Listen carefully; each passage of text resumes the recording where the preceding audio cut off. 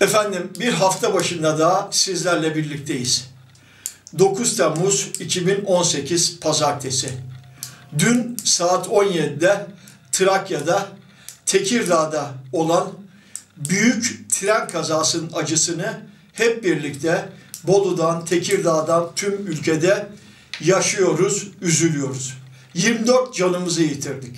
Buralarda eğer yağmurun dışında, doğal afetin dışında vatandaşın, insanın hataları varsa, bakım hataları varsa, raylarımıza bakılmamışsa bunların hesabının hep beraber sorulması için hep beraber fikri takip yapmalıyız.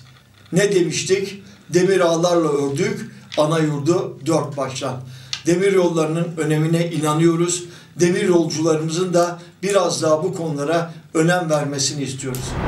Gelelim haftanın en önemli olaylarından bir tanesi vekillerimiz ant içtiler.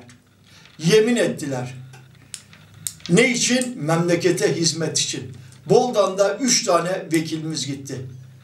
Bir Arzu Aydın, iki Fehmi Kürkçü, üç Tanju Özcan. Hepsine de başarılar diliyoruz.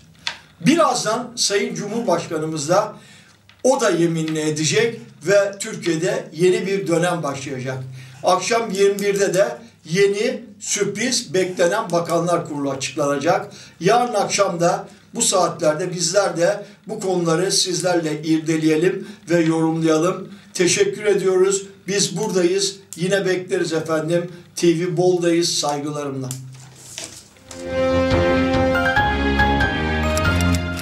tvbolu.com